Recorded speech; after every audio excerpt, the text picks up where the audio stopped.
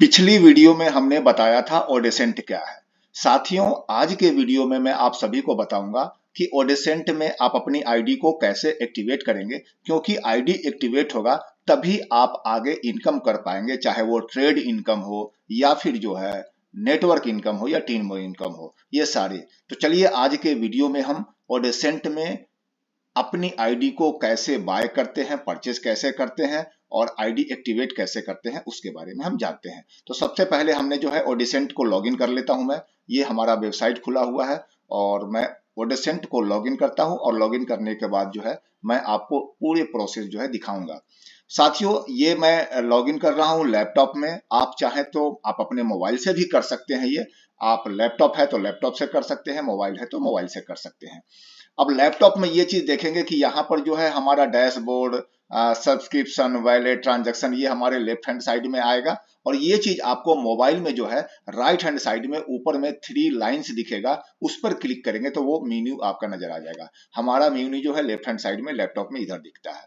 तो ये समझ में आएगा। बाकी सारा प्रोसेस सेम के सेम होता है। लैपटॉप में थोड़ा बड़ा होता है तो स्क्रीन जो है पूरा दिखता है। और मोबाइल में जो है, आप मेन्यू में जो है थ्री लाइन पे क्लिक करेंगे तो वो मेन्यू आएगा।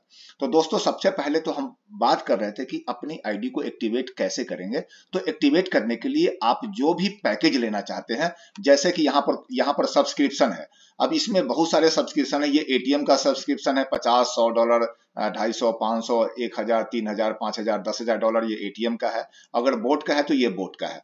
तो आपने जो भी मेंबरशिप लेना है आप बोट लेना चाहते हैं तो बोट ले सकते हैं और एटीएम लेना चाहते हैं तो एटीएम लेना ले सकते हैं। लेकिन अगर आपको लगता है कि जो सा भी ले, आप अगर चाहते हैं कि सौ डॉलर का जो है आप बोट मेंबरशिप ले तो कैसे सब्सक्रिप्शन करेंगे, चलिए देखते हैं। तो यहाँ पर आप ऊपर में टॉप में यहाँ पर देख रहे होंगे, ये जो लिखा हुआ है टॉपअप लिखा हुआ है। दोस्तों, सबसे पहले आपको इस वेबसाइट पे जो है टॉपअप करना होगा, हंड्रेड डॉलर। जब यहाँ पर आ जाएगा, आपका बगल में अमाउंट शो होने लगेगा, उसके बाद आप ये सब्सक्रिप्शन ले पाएँगे। तो अमाउंट हम कैसे लाते हैं तो सबसे पहले टॉपअप पे क्लिक करते हैं। टॉपअप पे जैसे ही क्लिक करेंगे तो आपको इस तरह का जो है एक पॉपअप आएगा, जिसमें आपको पेमेंट सिलेक्ट करना है कि आपको कितना डॉलर जो है आपने चूज़ करना है। सपोज़ कर लीजिए सौ डॉलर है तो इस सौ डॉलर पे क्लिक कर दीजिए। लेकिन मान लिया एटीएम में तो पचास डॉलर भी है तो आप मैनुअली यहाँ पर पचास डॉलर लिख भी सकते हैं। तो साथ ही हम मान लिया यहाँ पर सौ डॉलर के बारे में बात कर रहे थे, सौ डॉलर पे हमने क्लिक कर लिया और सौ डॉलर पे क्लिक करने के बाद जो है, ये नेक्स्ट का बटन है, आप देख रहे होंगे, इस नेक्स्ट पे आपने क्लिक करना है। अब जब नेक्स्ट पे क्लिक करेंगे तो आपके पास एक और कुछ ऑप्शंस आएँगे कि आप इसमें से किसके थ्रू जो है पेमेंट करना चाहते हैं। आप जो है बीएनबी के थ्रू करना चाहते हैं, या बीटीसी के थ्रू करना चाहते हैं, या इथेरियम के थ्रू करना चाहते हैं, या यूएसडीटी जो है बीईपी ट्वेंटी के थ्रू करना चाहते हैं, या यूएसडीटी टीआरसी ट्वेंटी के थ्रू करना चाहते हैं। आप, आपके पास जो भी है, आपके बाइनेंस में जो भी है, उसके थ्रू आप कर सकते हैं। सपोज़ कर लीजिए, ज़्यादातर लोग जो है बीईपी ट्वेंटी पे करते हैं तो बीईपी यूएसडीटी बीईपी ट्वेंटी पे मैंने कर दिया। आपके पास जो है, वो ऑप्शन आपके पास खुला हुआ होता है और सबसे नीचे में यहाँ पर देखते होंगे कि क्वाइन पेमेंट्स का जो है ऑप्शन यहाँ पर नीचे में आ रहा है। आप इस पे जो है क्लिक करेंगे। यहाँ पर देख रहे हैं अमाउंट सौ डॉलर आ चुका है। अब क्वाइन पेमेंट्स पे जब क्लिक करेंगे तो आपके पास एक क्यूआर कोड आएगा और एक एड्रेस आएगा, जिस एड्रेस पे आपने पेमेंट करना है। आप चाहे तो स्कैन कर करके बाइनेंस से जो है स्कैन कर करके यहाँ पेमेंट कर सकते हैं। और दूसरा ऑप्शन है, आप इस इसको जो है कॉपी करें और कॉपी कर करके आप अपने बाइनेंस में चले जाएँगे। बाइनेंस में जाकर के स्पॉट से आप जो है विड्रॉवल लेंगे और वहाँ पर विड्रॉवल में जाकर के यहाँ पर ये पेस्ट कर देंगे और पेस्ट करने के बाद यहाँ पर पेमेंट आप कर देंगे। इस एड्रेस पे पेमेंट कर देंगे। ये एड्रेस जो है, यहाँ का एड्रेस है, आपके आईडी का ये एड्रेस है जिसपे पेमेंट जाएगा। और जैसे ही पेमेंट कंप्लीट होगा साथियों पेमेंट कंप्लीट होने के बाद जो है, यहाँ पर जो है, आप वेबसाइट पे आएँगे तो यहाँ पर आप देख रहे होंगे डिपोजिट में जो यहाँ पर ज़ीरो ज़ीरो दिख रहा होगा, वहाँ पर आपका जो है हंड्रेड डॉलर दिखने लगेगा। आप वैलेट में जाएँगे, यहाँ पर वैलेट में क्लिक करेंगे तो यहाँ पर डिपॉजिट वैलेट जो है हंड्रेड पॉइंट्स जो है दिखने लगेगा आपको। जब हंड्रेड पॉइंट्स दिखने लगेगा, इसका मतलब हो गया कि आपके पास जो है हंड्रेड डॉलर आ गया है। अब क्या क्या करना है उसको? अब आपको सब्सक्रिप्शन में जाना है। इस सब्सक्रिप्शन में क्लिक करेंगे।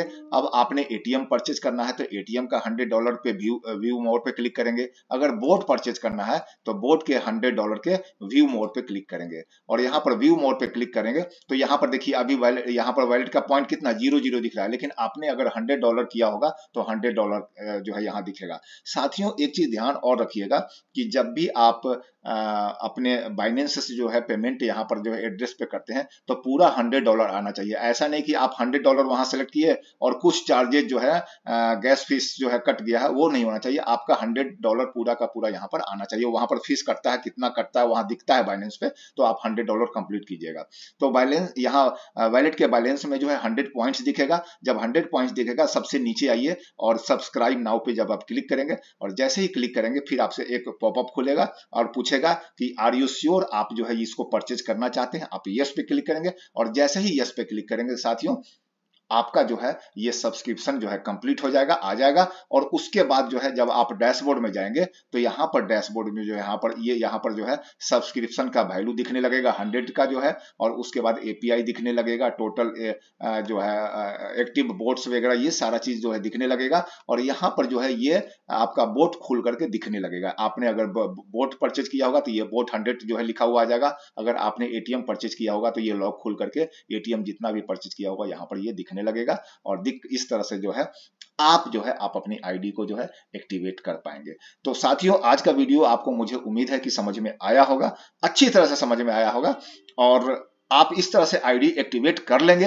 अब अगले वीडियो में जो है, मैं आपको बताऊँगा कि इस ओडेसेंट के एपीआई को बोट को, अगर एटीएम परचेज किया है, तब तो फिर आपको जो है एपीआई बाइनेंस से कनेक्ट नहीं करना होगा। लेकिन अगर आपने बोट परचेज किया है तो बोट को जो है हम कैसे बाइनेंस से बाइनेंस से कनेक्ट करेंगे, उस वीडियो को मैं अगले वीडियो में लेकर के आऊँगा। तो साथियों, अगर ये वीडियो अच्छा लगा होगा तो लाइक कीजिएगा। चैनल अब तक सब्सक्राइब नहीं किया तो ज़रूर कर लीजिएगा, क्योंकि अगला वीडियो जैसे ही आए, आपके तक जो है नोटिफिकेशन पहुँच पाए। समय पर कोई वीडियो जो है, किसी भी तरह का कोई अपडेट होगा, वो मैं समय समय पर लाता रहूँगा, वो आपको समय पर मिलता रहेगा।